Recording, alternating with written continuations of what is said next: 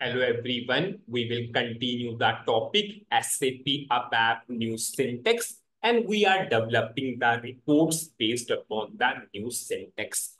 And in the previous video, I explained if we do not want to override the existing data, then in that case, we need to use base with the value expression. Previously, we passed the data to work area then from work area, we are passing it to internal table using append. Now we are completely, we are not going for old syntaxes at all. Now in the value expression itself, if you have base, the previous data will remain as it is. The previous data, whatever the internal table you are specifying, it will act as the initial data for the target internal table and new data will go after that. Now we will understand in the debugging mode how this logic is working so that it will give you more clarity. Anyways, I added a dedicated video after the value expression. So you can listen that video first.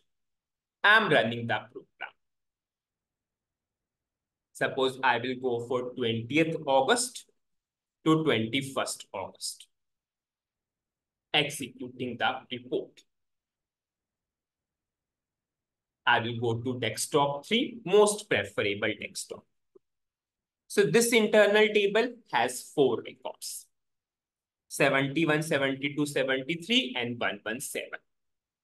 Firstly, first record will go to work area. So in this work area, we have the sales order number 72. It will check into this internal table do we have record of 72? Yes, we have the record of 72. So this first record from this internal table LTVBAP will go to this work area. Now in this work area, we have the 72, the 72 sales order number.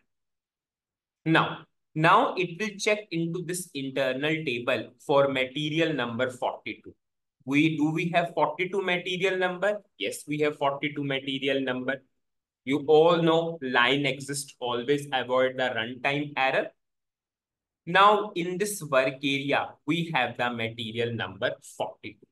Now, now we are passing everything to this output internal table. Just see this output internal table, zero records. Now we have one record into internal table.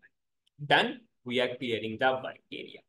Now loop will continue. This inner loop. Now we have this inner loop. In this inner loop, do you have any further record of 72? There is no further record. But system will process this, but if condition is failed, where condition is failed. So now system will move on to the outer. Now we have the outer loop. Now you can see we have the outer loop. Now second record Second record will go to this work area. You can see in this work area, we have 71 now. Now the important part will come. It will check into this internal table. Do you have 71? Yes, we have 71. So this record move to work area. In this work area, you have the 71. Now it will check into this internal table do you have material number 42? Yes, we have material number 42. Done. So we have this 42. Now you can see in this LT underscore output, this we specified LT underscore output after base after base. It means this record, this record will act as the initial value for that target internal table. What is your target internal table? LT underscore output. And this new record, what is the new record? New record is for 71, 71 sales order number.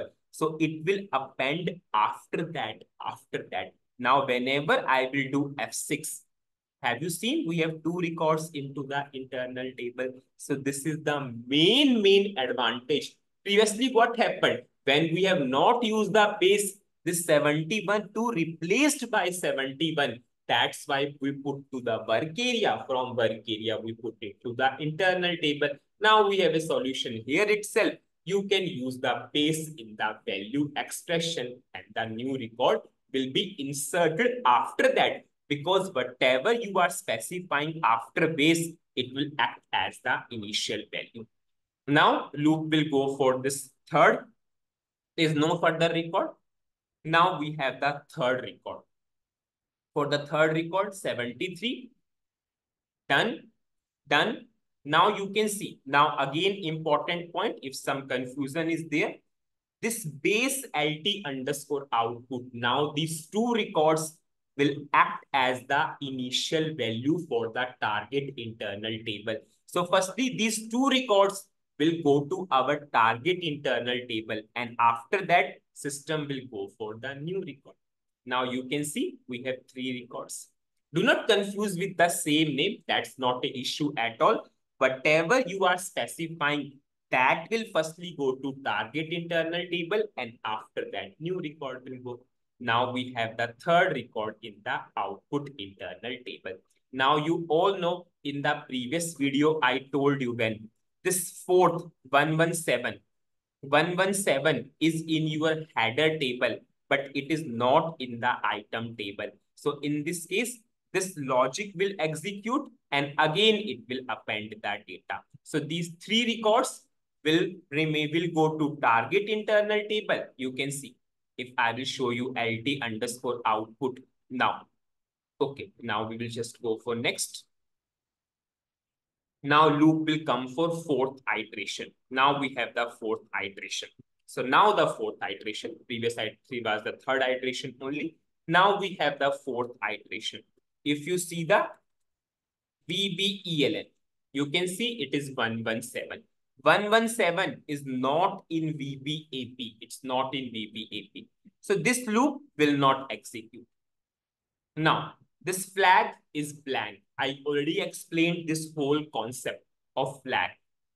Now you can see this three records, these three records will act as the initial value for the target internal table. Now, whenever I will do F6, now you can see we have four records into the internal table. And this is what we want. So we got the same to same result. Same thing we did in the third program also. So that will also give us the same to same output. So what is the summary of this particular video?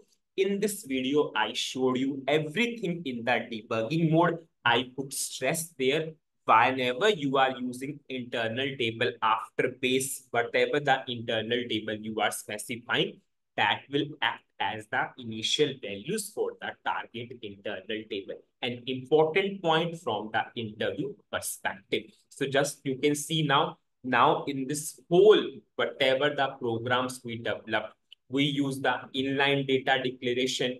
Yes, after that, we simply, simply use the table expression we used the value expression.